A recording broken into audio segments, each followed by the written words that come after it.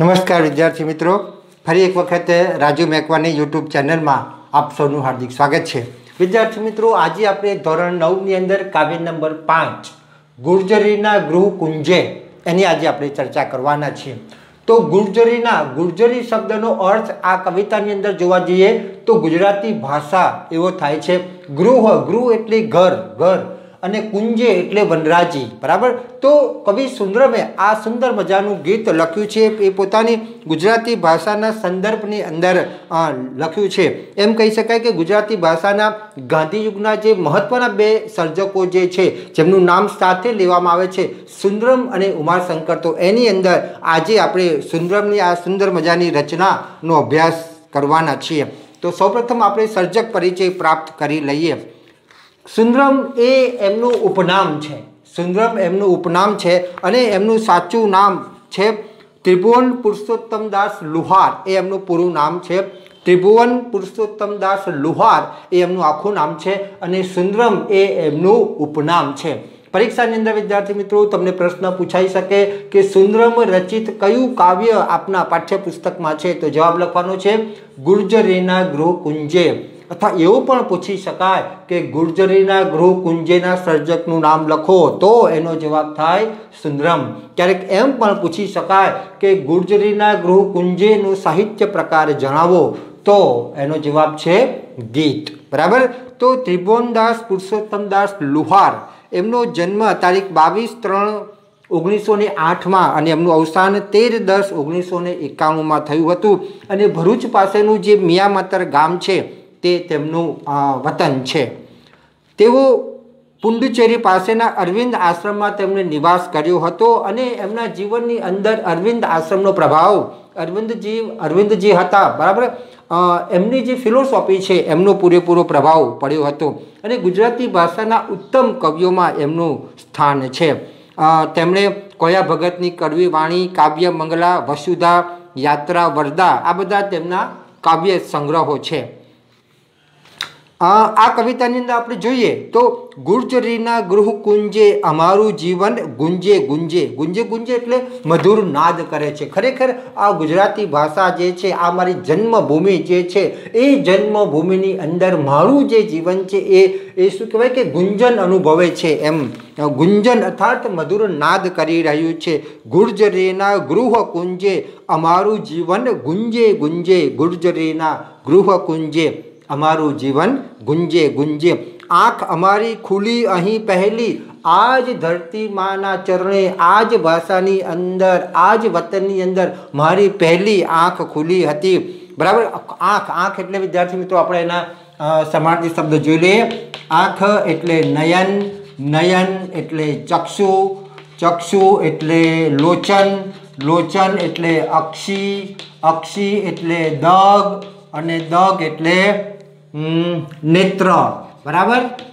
ક્યારેક નેલ શબ્દ પણ પ્રયોજવામાં આવે છે. વિદ્યાર્થી મિત્રો, આ ધોરણ નવ માટે પણ છે. તમે દસ અગિયાર બારમાં ભણશો તો પણ આ શબ્દો તમારા માટે અગત્યના છે. તો આપણે આગળ જોઈએ.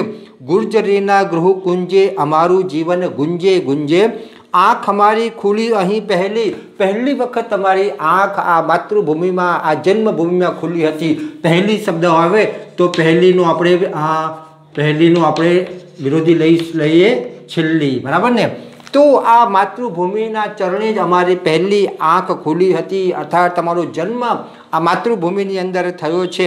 અહીં અમારા યૌવન કેરી વાદળીઓ વરસેલી અને આ જ જગ્યાની અંદર અમે ધીમે ધીમે ધીમે ધીમે મોટા થયા અને આ જ જગ્યાની અંદર અમારી યુવાની જે છે એ વીતેલી છે. બરાબર? તો સર્જક એક જણાવે છે કે આ માતૃભાષા જે છે, આ મારી ગુર્જર વતનની ભૂમિ છે. એની અંદર જ મેં સૌપ્રથમ પગલી ભરી હતી. પગલી પગલી એટલે બાળકનું પગલું. બરાબર? પગલી એટલે બાળકનું પગલું. નાનું બાળક પહેલી વખત ચાલતા શીખે ને એમ, તો આ જ માતૃભૂમિની અંદર અમે જન્મ્યા આ જ માતૃભૂમિની અંદર અમે મોટા થયા, કિશોરાવસ્થા, અમારું બાળપણ, અને આ જ માતૃભૂમિની અંદર અમારી યુવાની જે છે એ વસેલી છે એમ. એ કહેવા માગે છે આપણે. અહીં અમારા યૌવન કેરી વાદળીઓ વરસેલી. બરાબર? આગળ જોઈએ.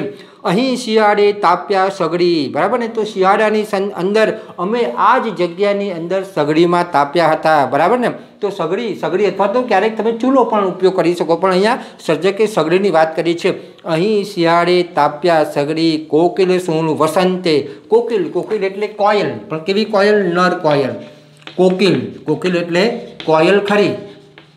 પણ નર કોયલ, બરાબર? માદા કોયલની વાત નથી, નર કોયલની વાત છે. તો આ એ જ જગ્યા છે કે અમે અહીંયા કોયલનો અવાજ સાંભળ્યો હતો. કોકિલ સુણી વસંતે. વસંત શબ્દનો અર્થ આપણે જરા જોઈ લઈએ. વૃક્ષોને નવપલ્લિત કરનારી ઋતુ. વિદ્યાર્થી મિત્રો, યાદ રાખજો. વસંતે, બરાબર ને? વસંતે અથવા તો વસંત. તો વૃક્ષોને નવપલ્લવિત નવ પલ્લવિત કરનારી ઋતુ બરાબર એને આપણે કહીએ છીએ વસંત, અથવા તો વસંતે. અહીંયા વસંતે શબ્દ છે, બરાબર? કાવ્યની અંદર વસંત. શબ્દ સૌ માટે એક શબ્દ આપો? એ પૂછાશે તો યાદ રાખજો. વૃક્ષોને નવપલ્લવિત કરનારી ઋતુ તો આ એ જ સ્થળ છે, આ એ જ જગ્યા છે, આ એ જ અમારી માતૃભૂમિ છે કે અમે અહીંયા શિયાળે કડકટી ઠંડીની ઠંડી જ્યારે પડતી હતી, ત્યારે અમે આ જ જગ્યાએ તાપ્યા હતા અને આ જ જગ્યાએ અમે કોયલનો મધુર અવાજ સાંભળ્યો હતો. અષાઢના ઘન ગર્જન જીલ્યા રણ જળતા ઉરતંતે, બરાબર ને? અષાઢના ઘન ગર્જન ઘન ગર્જન એટલે વાદળોની ગર્જના. ઘન ગર્જન ઘન ગર્જન એટલે વાદળો. વાદળોની ગર્જના. આ એ જ જગ્યા છે જે જગ્યાએ અમે ચોમાસાનો અનુભવ કર્યો હતો. આ એ જગ્યા છે જે જગ્યાએ અમે વરસાદમાં પલળ્યા હતા. આ એ જ જગ્યા છે જે જગ્યાએ અમે વરસાદની અંદર નહાયા હતા. અમે મોજ મસ્તા કરી, મોજ મસ્તી કરી હતી. આ એ જ જગ્યા છે જ્યાં અમારું બાળપણથી લઈ અને યુવાની વસ્તી અવસ્થા જે છે એ ઉછેર પામી છે. તો ખરેખર આવી માતૃભૂમિ કોને ન ગમે અને એ યાદ એના સંસ્મરણમાં છે. કોના સંસ્મરણ? યાદમાં છે, સંસ્મરણમાં છે? તો સર્જકના સંસ્મરણમાં છે. અષાઢના ઘન ગર્જન જીલ્યા રણ જડતા ઉડ તંતે ગુર્જરીના ગૃહ ગુંજે અમારું જીવન ગુંજે ગુંજે. ઉર તંતે, ઉર તંતો એટલે હૃદય. ઉર તંતે એટલે હૃદયના તાતણે, હૃદયના તાતણે, બરાબર ને? હવે ઉર શબ્દના પણ આપણે સમાજી શબ્દ જોઈ લઈએ. ઉર ઉર એટલે હૃદય. હૃદય એટલે દિલ. બરાબર? અથવા તો હૈયું પણ થાય. બરાબર? દિલ. ખાસ યાદ રાખજો, પરીક્ષાની અંદર પૂછી શકાય એવો સમાર્થી શબ્દ છે. તો અષાઢના ઘન ગર્જન ઝીલ્યા રણ જણતા ઉર તંતે અમે ભમ્યા અહીંના ખેતરમાં. અમે આ જ જગ્યાએ આ જ માતૃભૂમિમાં આ જ જમીનની અંદર ખેતરમાં ભમ્યા હતા, ફર્યા હતા.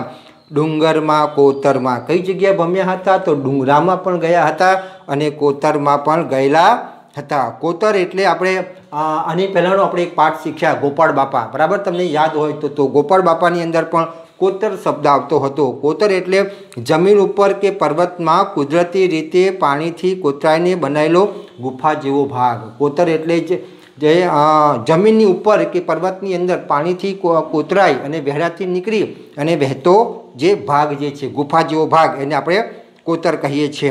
નદીઓમાં નહાયા આડોટ્યા. આ આ જ ભૂમિની અંદર જે નદીઓ પસાર થતી હતી, એમાં અમે નહાયા છે અને આડોટ્યા છે અને મોજ મસ્તી કરી છે. કુદરત પાનેતરમાં ગુર્જરીના. પાનેતર એટલે લગ્ન વખતે કન્યા જે રેશમી સાડી પહેરે તેને આપણે પાનેતર કહીએ છીએ. પાનેતર, શબ્દ શું માટે એક શબ્દ આપો, બરાબર? તો લગ્ન વખતે કન્યા જે રેશમી વસ્ત્ર પહેરે છે, જેને સાડી કહેવાય, રેશમી વસ્ત્ર પહેરે છે, તે બરાબર? શબ્દ સમૂહ માટે એક શબ્દ આપો, પૂછાશે. તો લગ્ન વિધિ વખતે પરણિત પરણતી વખતે કન્યા રેશમી સાડી પહેરે તેને આપણે કહીએ છીએ પાનેતર. આડોટિયા આરોટું એટલે ગમે ત્યાં ફર્યા, એમ. આગળ જોઈએ. અહીં અમારા તન ધન અર્પ્યા, અને અહીંયા જ અમારું તન છે, અહીંયા જ અમારું મન છે, અને અહીંયા જ અમારું ધન છે. અહીંયા તન શબ્દનો આપણે સમાધિ શબ્દ જોઈ લઈએ. તન એટલે શરીર. શરીર એટલે કાયા. કાયા એટલે દેહ અને દેહ એટલે વપુ. બરાબર? આપણે આગળ જોઈએ. નદીઓમાં નહયા આરોટ્યા કુદરત પાને તરમાં ગુર્જરીના, અહીં અમારા તન ધન અર્પ્યા, પૌરુષ પ્રાણ સમર્પ્યા. અહીં જ અમારી જે મરદાનગી છે, પૌરુષ એટલે મરદાનગી અથવા તો પુરાશ પુરુ પુરુષાતન બરાબર? તો પૌરુષ પ્રાણ સમર્પ્યા. અમે આ રીતે જ આ જગ્યાની અંદર અમને એટલો બધો લગાવ છે કે એ લગાવ અમે અમારા દિલમાંથી હટી શકતો નથી. એમ સર્જકે કહેવા માગે છે, અહીં અમારા તન ધન અર્પ્યા, પૌરુષ પ્રાણ સમર્પ્યા. વિશ્વવાળીને સુફલિત કરવા નસ નસથી રસ અર્પ્યા. ગુર્જરીના ગૃહ કુંજે, અમારું જીવન ગુંજે ગુંજે. ગુર્જરીના ગૃહ કુંજે, અમારું જીવન ગુંજે ગુંજે. વિશ્વવાળીને સુફલિત કરવા. બરાબર? વિશ્વવાળી, વિશ્વ એટલે દુનિયા, જગત, સંસાર, આલમ. તો આ જે વિશ્વરૂપી વાડી જે છે, એને સુફલિત કરવા અર્થાત ફળરૂપ કરવા નસ નસથી રસ અર્પ્યા છે. અમે આ અમારી માતૃભૂમિની અંદર જે છે, એ એ અમે નસ નસથી એને રસ અર્પણ કર્યો છે. ગુર્જરીના ગૃહકુંજે. અમારું જીવન ગુંજે ગુંજે. અમે અહીં રોયા, કલ્લોલ્યા. અમે આ જગ્યાએ રડ્યા હતા. અમે આ જગ્યાએ મીઠો, મધુર અવાજ કર્યો હતો. આ એ જ માતૃભૂમિ છે જ્યાં અમે રડ્યા પણ હતા અને આ એ જ માતૃભૂમિ છે જ્યાં અમે હસ્યા હતા, આનંદ કિલ્લોલ કર્યો હતો. અહીં ઉઠ્યા પડછાયા. અમે આ જગ્યાએ જ ઉઠ્યા અને આ જગ્યાએ જ બેઠા હતા. જીવન સંગે જગત ભમ્યા. પણ વિસર્યા નહીં ગૃહ માયા. બરાબર? અમે આખી દુનિયા ગમે ત્યાં અમે ફરીને આવીએ, પણ અમારા માટે તો આ સુખ દુઃખ ગમે તે હોય, પણ અમારા માટે તો આ ગૃહ માયા છે, આ ઘરની જે માયા છે, એ અમારા માટે અગત્યની છે. એના વગર અમને ચાલી શકે એમ નથી. આપણે વિદ્યાર્થી મિત્રો કહીએ છીએ ને કે તમે ગમે ત્યાં જાઓ, પણ ધરતીનો છેડો એટલે ઘર. આ દુનિયાની અંદર તમે આ જન્મભૂમિને ક્યારેય નહીં ભૂલી શકો. આ જન્મભૂમિ એટલે આ એ જ જગ્યા છે જ્યાં તમે નાનપણથી લઈ અને મોટા થયા હતા.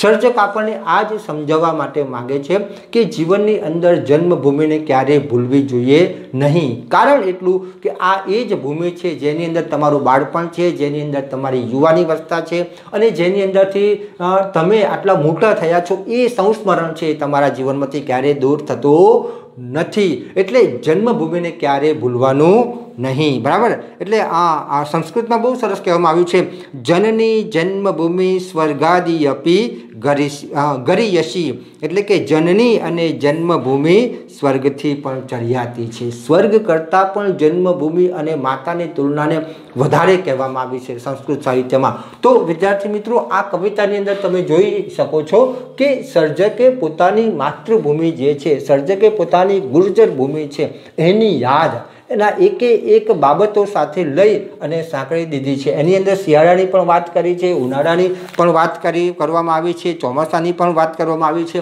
તમે નદીઓમાં નહાયા હતા, આરોટ્યા હતા, એની પણ વાત કરી છે. અને એને જે નવ વધુ જે પાનેતર પહેરે છે, એની સાથે પણ એને સાંકળી લેવામાં આવી છે. તો દરેકે દરેક બાબતને સર્જકે આ કવિતાની અંદર સાંકળી લીધેલી છે. તો વિદ્યાર્થી મિત્રો, અહીંયા આપણે આ કવિતાની ચર્ચા પૂર્ણ કરીએ છીએ. વિદ્યાર્થી મિત્રો, આ જ કવિતાનો બીજો ભાગ પછીના વિડીયોમાં આવશે, જેની અંદર આપણે પ્રશ્નોના જવાબ અને વ્યાકરણની ચર્ચા કરવાના છીએ. તો એ વીડિયો જે છે તમે જોવાનો ભૂલતા નહીં. તો વિદ્યાર્થી મિત્રો, અહીંયા મારો વીડિયો પૂર્ણ કરું છું. ફરી વખત આપણે બીજા ટોપિક સાથે મળીશું. જ્યાં સુધી આપની રજા લઉં, આપનો આભાર.